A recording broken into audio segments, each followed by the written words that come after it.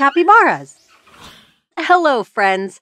Today, we are going to learn all about a cool animal called a capybara.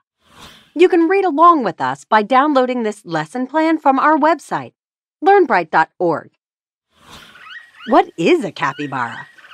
Capybaras are the largest rodents in the world and have physical characteristics that help them live in wet habitats.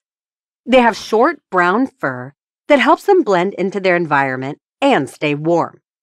Their eyes, ears, and nose are high on their heads so that they can see, hear, and breathe while swimming. Capybaras also have webbed feet, which make them excellent swimmers and allow them to escape predators. These large rodents live in groups called herds, which can have 10 to 40 members. Living in a herd keeps them safe because they can warn each other about predators, like jaguars and caimans. A dominant male leads the group and protects the other members. Capybaras are social animals and often groom each other to strengthen their bonds. The mothers take great care of their young, called pups. After birth, the pups can walk and swim within a few hours. They stay close to their mother, but also receive care from other females in the herd. This behavior, called alloparenting, means that many adult capybaras help raise the young, keeping them safe from danger. What do capybaras eat? Capybaras are herbivores, so they only eat plants. Their diet consists of mainly grasses, aquatic plants, and fruits. They have strong, sharp teeth called incisors that grow continuously and that allow them to chew tough plants. Capybaras also eat their own droppings. This process, called coprophagy, lets them digest food better and absorb more nutrients.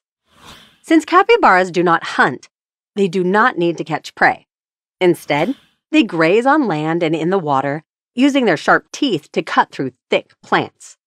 They spend a lot of time in the water, eating floating vegetation. During dry seasons, they sometimes travel long distances to find enough food to survive. Other interesting facts. Believe it or not, capybaras can sleep in the water. Like a floating log, they rest on the water by tucking their legs under their bodies. They keep their noses above the surface to breathe. Sleeping in the water keeps them hidden from predators while they slumber. These chill rodents also have a special symbiotic relationship with other animals. Many animals, such as birds and monkeys, like to sit on capybaras' backs. The cattle egret, for instance, is a bird that eats insects off the capybara's fur, keeping the rodent clean.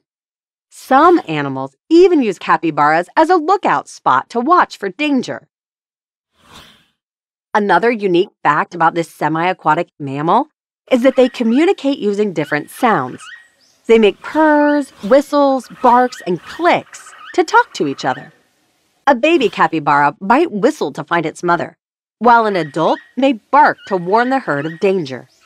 Their many sounds help them stay connected and safe in the wild. Why are they important to the environment? Capybaras play a vital role in their ecosystem. As herbivores, they help control plant growth by eating grasses and aquatic plants. This prevents certain plants from taking over wetlands. They are also a food source for predators, like jaguars, anacondas, and caiman, which maintains the balance in the food chain.